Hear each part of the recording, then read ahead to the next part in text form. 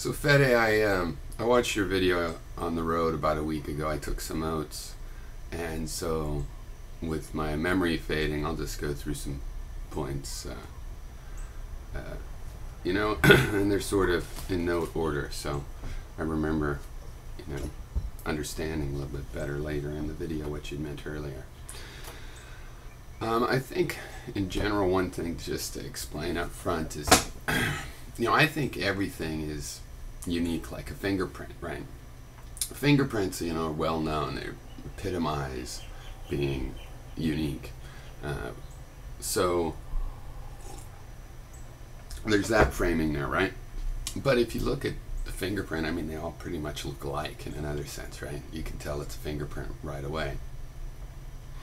But the idea is that's how everything is. It's like apples. Two apples have a lot of differences, individual fingerprint, you know, uniqueness to them. Uh, they have a lot of similarities, right?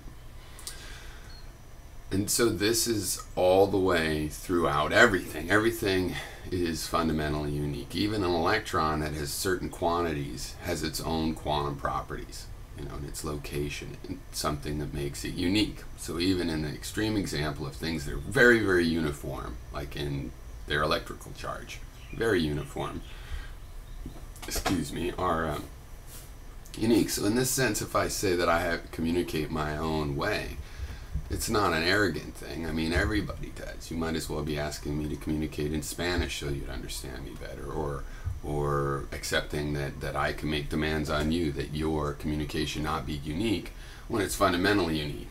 On the other hand, we can say, look, there's certain patterns that we're asking for, interested in. My point in my video was that, you know, it's not really the English language, but I'll, I'll mention this a little bit. Rather, it's the ideas I'm trying to convey. You know, not all ideas are easily conveyed in language. In fact, I think most of them are not.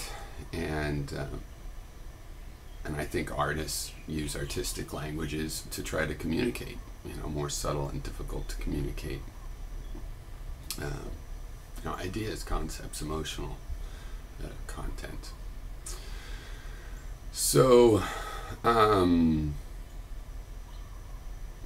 so one thing I've noticed is that I put I, I, if you know there's a lot of ways to to get to a particular conclusion or that conclusion's opposite. I like to present multiple of them at once. I don't like to go through just one. I like to include the complexity of things.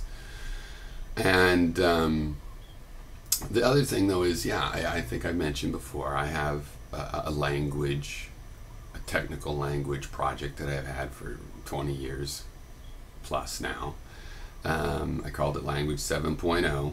And the idea, and that's the first version, the version numbers would go down. And the idea is that Language 1 would be sort of finally cleaned up language.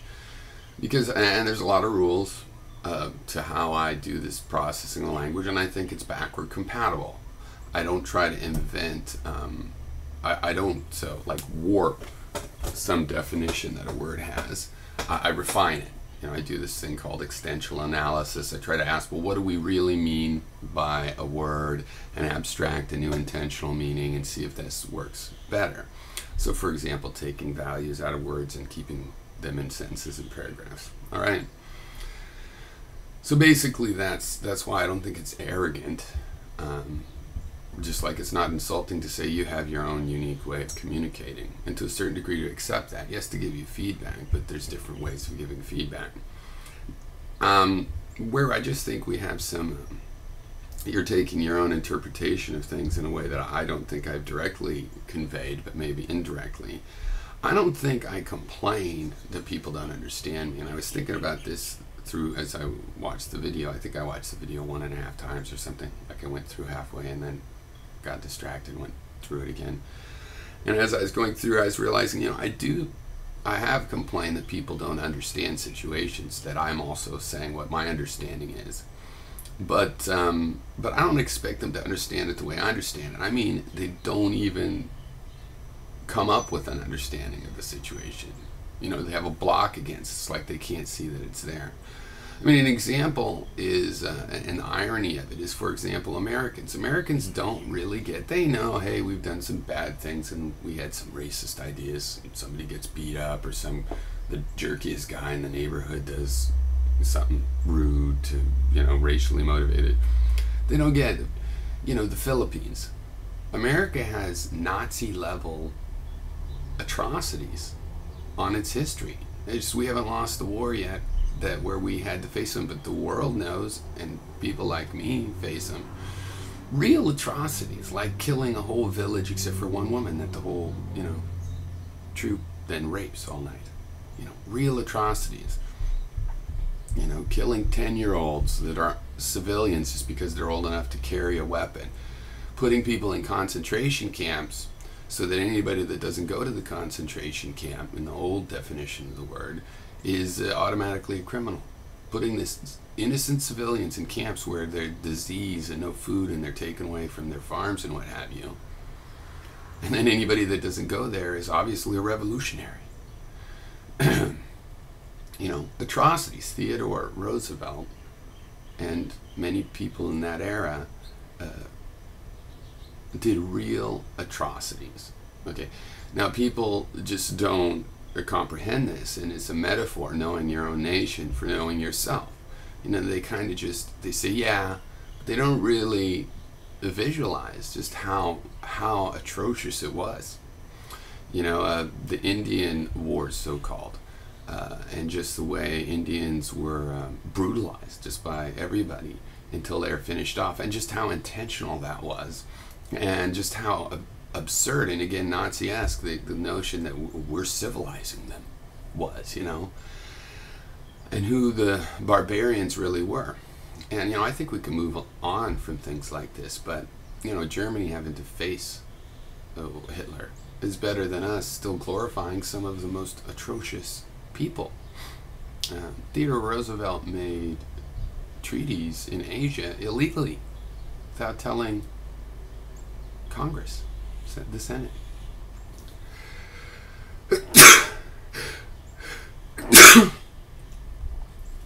now, I don't think people have to understand it the way I understand it, but I will complain if they haven't really even dealt with the facts, right?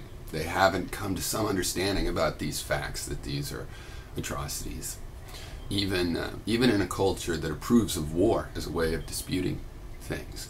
Um, so, uh, I mean, Americans are still here going, they hate us for our freedom. That's their self understanding. We're kind of a free country. They don't like that. And it's like, no, the people that hate us uh, just remember the atrocities. Even though we didn't win, lose World War II, somehow they remember. Now, was that clear? I think some people would be confused by that presentation, but I, I, think it was clear. I think a lot of Americans would be confused by what I just said and think a lot of confused things like, what do you mean? Are we? We understand? No, you know, I don't think so. Um, but non-Americans probably would go, yeah, I, I, see what he was getting at with the with the atrocities of America, but I don't see how that relates to being clear. Um, what am I supposed to do about that? Because I feel like I, I made exactly point with that segment. Um, I have also complained about people taking the wrong interpretation. But that, too, to me, is not saying they should get exactly the right interpretation. It's more like they made assumptions and start talking about, well, you said the blah, blah, blah, blah. It's like, no, I didn't say that. And that's what I mean about uh, not being misunderstood. You know, it makes sense to me that people would go, hmm, I kind of get this and that gist of what Pyrrho said, but but I'm not sure if I quite get it. You know, hold off some of those assumptions, because I think we're really looking for questions, not answers. I think that basically what we call an answer is better thought of as just a better question. You know, what kind of a God is the sun is you know replaced by what kind of chemicals is the sun is replaced on what kind of energy generation. You know, you narrow down questions, and you can place those questions as answers like, you know, what kind of a God is the sun? You say, well, it's not a God. Then I'm done. But really, it's a question. It just breeds a new question, right? Okay. So I think if people have a question about what I meant, that that's better than if they think they, they got it exactly right. As long as there's some conveyance of ideas. Uh, I think it's a higher signal to noise. Um, and a lot of what people experience as understanding is, is just an illusion on their part. You know, two people going, yeah, that's it, yeah, that's it, and they're actually thinking different things often. So I communicate in this way, um, both because of, of planning and working on it, but also I'm working on it this way because of my predilections. I, I would like to argue that, you know, even English isn't my first language. Uh, you know, emotion is my first language. You know, artist imagery, the, the, the language of imagery, you know, could show you three pictures and in a particular order would convey a particular message compared to if it was in another order, obviously different pictures, right? And so trying to put um, these ideas that, that I can work with in, in my mind with, with images, with the imaginary imagination, power of imagination, um, uh, it, it has to it, it has compromises, just like uh, uh, talking philosophy in in, langu- in English when your first language is Spanish has certain um, you know certain issues that'll, that'll you know certain words uh, uh, might be less used or the concepts you know what I mean? They might map you might tend to put your verbs at the end of the sentence when you start talking fast or whatever go back to your own grammar. It's the same thing with me. I really feel more that I have worried about um, you know a structural uh, uh, language as a structure for emotion and imagery um, and words being um, a special case. Just like logic, it seems universal, you can apply it, but sometimes, you know, some things, pure logic, you can't have x equals a in matters of love and character, and it's hard to mathematize beauty and stuff. But it's easy to discuss it with imagery. So it's, it's like all language is sort of on the logical end of that. You know, it, it cuts off and makes certain things difficult. Um, difficult to deal with the way I actually think of them. And I would rather try to come up with um, a way of speaking, a way of expression uh, that's a personal language. And again, I abstract this a little bit from art. I think we're all unique, and, and speaking, even in ordinary circumstances, uh, has an art, at least an art and engineering kind of aspect to it. And that um, the, the best way to understand someone is get to know them and understand the, you know, kind of the way they talk, the way they express themselves. And that's the purest. When you try to pretend, well, everybody has one way that they're supposed to communicate themselves, and we can, you know, a universal model, and everybody's supposed to be with reference to it, is sort of an approximation of what's really going on, which is people are unique, and you have to learn some of their unique things to really get what they're saying very well. Um, and this this is not such a terrible thing if you just accept as I've accepted, or it hasn't been terrible for me to accept, that all understanding is partial. You, you can't understand something fully. You get that feeling of fullness. It's just it's past some threshold of satisfaction that you've got enough of the meaning. Um, so, um, just to emphasize that, you know, I think everybody is a unique communicator. So I don't find it arrogant to point out that I'm a unique communicator. Um, you said that okay, you you have these things you couldn't control, but at least you know you come off in an uncontrolled way. That that I find perplexing because uh, haven't I been acknowledging how, some of these things about how I come off, and you're going, well, at least I know. Really, are we at least talking about your way of coming off, or at least we're actually talking about mine? So I think me acknowledging how I come off is not really an issue, and just shows a little bit that you're kind of just frustrated with um, an apparent arrogance or something. But there is a, a, unity of arrogance and humility in the fingerprint and skepticism and relativism you see. Um, like, uh, again, with the Philippines, one of the things forever and still against the Philippines is, oh, they eat dog. And it's like, get over it. I mean, it's meat. I had somebody who was coming over, decided not to argue with him, came over, was talking to me about, well, it's just wrong to eat dog because you can't eat animal that understands this or that. I'm like, well, they're stupid dogs. But I didn't go into that. But that was their theory. They, you know, why it's okay to eat cows. It's just this kind of relativism of somebody else thinks that you can make a fine, fine meal from a dog, and frankly, I'm fine with that, but that's not where my head is at. I don't want to eat a dog. I'm not choosing to eat a dog based on the flavor. I mean, I have had a lot of close relationships with dogs. Um, so, uh, so it's not, um, uh, you know, so I could be proud of the way that I communicate and unwilling to change it. And still, that doesn't mean it's it's just relative. That's where I'm coming from. It's like I eat dog. Is that really so gross to you? Let's talk about that. Why? What is it? Um, the arrogance that I would say I could be my own way, but compared to the fact that I think I don't have any choice, that everybody is their own way, and I'm just accepting that fact. So which is it? You're saying I should try to be the way everybody is, which there is no such way. You know, see what I'm saying? I think that that part is what I'd like you to think through. How that swirls around, and any step of the process, you'll see it makes sense. But but you really need to look the whole cycle, and that goes nowhere. Um, like for example, maybe you could be more specific. What what could I do? I gave this metaphor. Maybe you could tell me, yeah, just say two plus five equals seven, and leave the eight minus one equals seven to another video, and I could say why I'm willing or not willing to try that. I'm interested. You know, I used to. It's like it's not that I don't care if people understand me because I care. I'm interested to see how much they understand me. Like they, it's not a matter of understanding me or not. It's how much and in what way uh, they understand me. And I'm interested in that. But I'm not going to change what I say in order to maximize that. That's almost manipulative by my standards. Now, this know thyself thing. Um, see, knowing yourself interferes with being able to communicate with other people because you simply find how unique in things that can't be stated just by repeating, repeating a cliche that's been in the language for hundreds of years, you know, and and so there's a balance there, um, and I have a, a, history of, of thinking about this thing. It's Socrates Socrates' only dictum, and oops, and um, I. Uh, I really am just trying to provoke what you said you're willing to do. Instead of saying it's hard, like it's an art form, like it's trying to describe how to stay balanced on a skateboard. No, this is this does reduce to analysis, knowing thyself.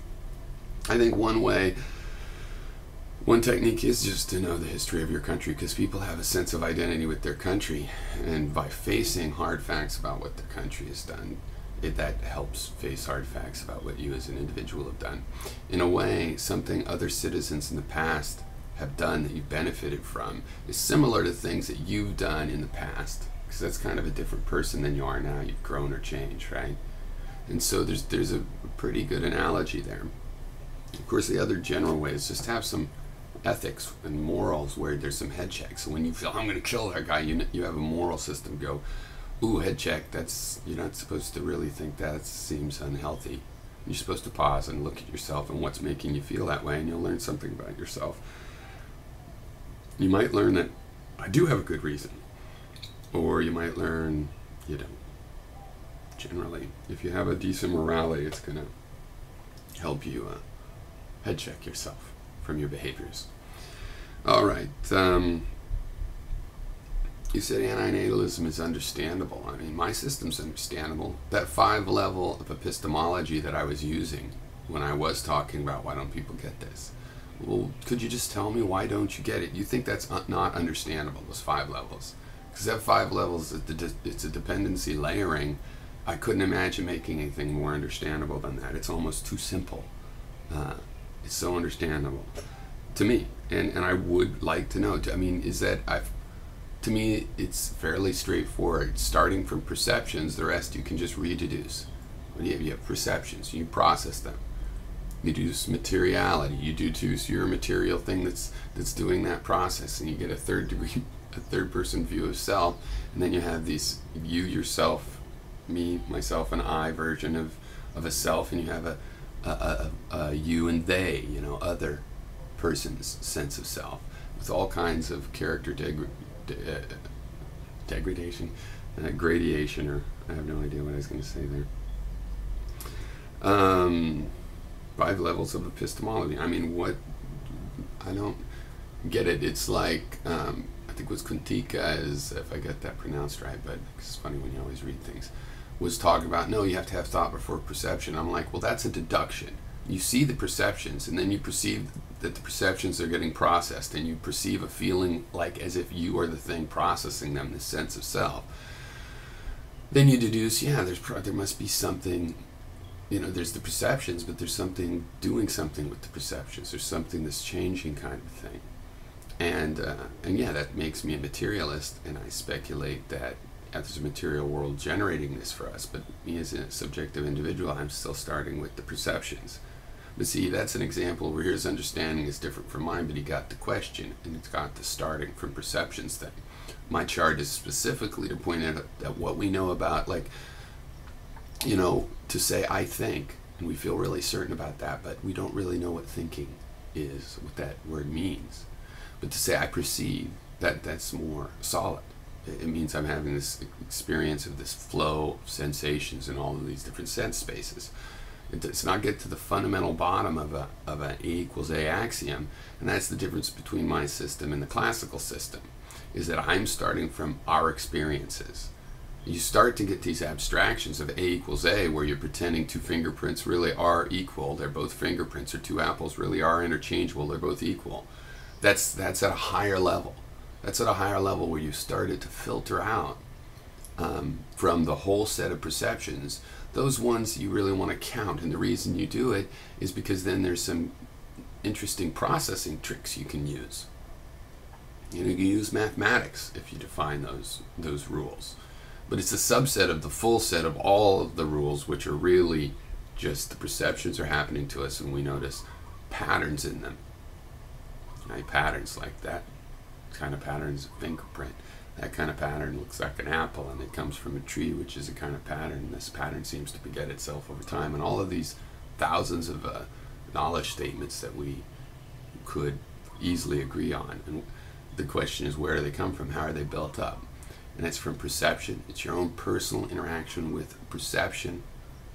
It's the establishment of the idea that of of that it's a perception of something, and the something is a system, and it is exists as uh, a material system running on its own, just as you must, and to a certain degree they are independent in that both of those systems have their own you know if you go away it could still be running. If it goes away you could still be running. They both have their own self. But you never get above this fact that like one of the ways the sun might not rise tomorrow for you is you die your system start stops and you can't to me it's very important to understand how that is the basement that is the foundation. That's the bottom of everything we know is that if I die, the sun doesn't rise tomorrow for me. All of the theories about, but it'll rise for other people, I believe them. It's just, I'm saying they're ordered. It's important to get, important to get the order right. Why? Because when you get all this stuff collated and formed out in a clean way, this clear stuff, then we can start building on top of that more complicated things like social systems. You know, like like uh, it, it's just, I mean, we're still attacking countries and expecting to be greeted as liberators by the barbarians there. And that if we just kill a lot of them, they'll, they'll get the idea. We still think that. Um, we had a little bit of fear that after, um, well, I think World War II made the GI think he was doing a good thing since he was fighting somebody so terrible and he didn't know how complicit the Western powers were in, in producing Hitler. And then he came back, his kid went to Vietnam, is like, I'm not going to do this. A lot of people did it, but then it got out, and then they got scared. But we don't want another Vietnam, and they did much, you know, went for more covert uh, kinds of things. And then Bush comes along, and it's just like, no, let's double down, back to torture you know, we went back to torture because we tortured. We were waterboarding the, the Filipinos, you know, with the more, majority of them dying in the end. So, um, yeah, that's a little big bundle of threads, you see, but they, they sort of thread together. All right, cheers.